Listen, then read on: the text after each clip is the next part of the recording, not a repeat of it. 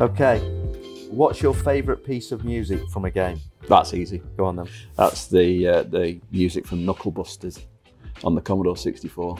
I have a thing about Commodore 64 music Wow. and the SID chip. So people used to think I was mental going down the street in my Nissan Micra with with Zoids blasting out or Monty on the run. I, I would say, because I've heard it the most, um, it's got to be Outrun. Which Well, one? I don't know. I, I don't know that I can remember the title. but Magical can- Sound Shower. That's the one. Oh God, no, that- You're not doing it I think though, that's you? Magical Sound Shower. You're not that's the doing it one that was in my head. I was humming, I was course I'm not humming along doing in my head. I'm humming it. He's singing it.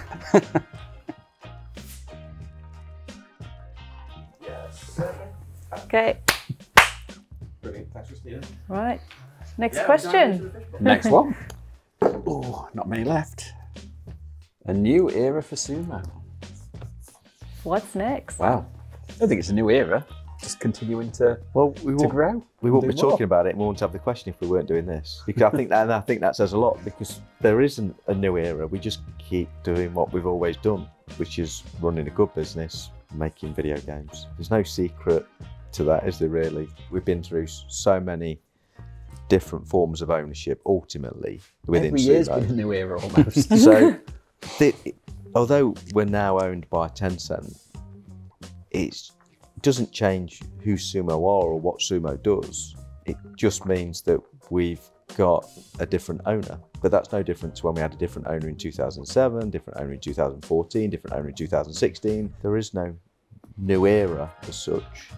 It's No. just carry on doing Well, what you've, we've you've always just done. listed a bunch of new eras there. and Yeah, The same questions come up every Yeah, time. yeah. And, and I think we've proved that, that we just keep carrying on Yeah. and we, we do what we've always done. Yeah, And again, just just run a good business. Yeah. Which is, is Yeah. what we, we've always done.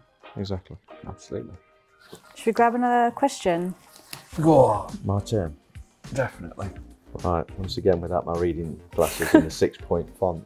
Um, our first developer conference. As an SDC, The developer conference has really started at Gremlin. And because we were a really large developer stroke publisher, we'd run our own conferences. But it was only a couple of years ago when Gary Dunn started talking about doing something now we were larger as Sumo, um, that it kind of made sense. Bear in mind, we've got 18 studios across five countries. The challenge is how do you get everybody to share learnings and, and see what each other's doing and give them exposure because it does help to invigorate other studios when you see what someone else is doing or you see someone else has already solved the challenge that you're probably looking at right now. So SDC's a brilliant opportunity for people to come together and to learn from each other. I, I think it was the first opportunity as well to really see the scale of sumo.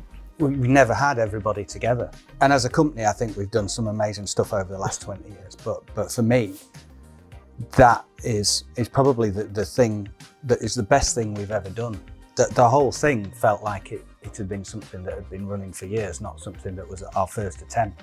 And it, it was fantastic. Maybe we should go into conferences next. Yeah. next question. Go. Oh, last one. I think this is one for you, Carl. Um, special relationship. So special relationships, we, we obviously have always had a charity relationship with with various partners, but over the last few years, with Special Effect, has been a big part of, of Sumo's journey in terms of providing support, and then more recently solving kids' cancer. It's not about just giving some money to a charity. They're absolutely the last thing. Other than British Racing Greats this year, what other events, charity events, are you looking forward to? Are you taking part in any? We we always take part in um, a couple of golf tournaments. There's Games Day Golf and there's Special Effect Golf, which they're running for the second time this year. There's always the five-a-side. This year they're stepping that up with a 24-hour non-stop football Marathon. marathon, which I'm glad I'm not part of. I don't think I could do 25 minutes, and not let alone 24 There was hours. Twin but- Town Challenge as um, well. Yeah, we, we've always taken part in Twin Town Challenge whenever we can, and that is a, a great segue into the British Racing Greats because the British Racing Greats was an idea that, that I had with, uh, out one night with Nick from Special Effect. So we were just talking about what could we do that's big, fairly spectacular, but perhaps a little bit more static than, than a trip to another country. and so we kind of came up with this this idea of, of a of a big track day, you know, getting everybody in the industry together. That's a bit of a petrol head, and everybody that that that we've pitched it to has has jumped on board straight away. And the other thing that I think we love supporting as well, and our teams get everyone supporting, is uh, Special Effect's one button game jam.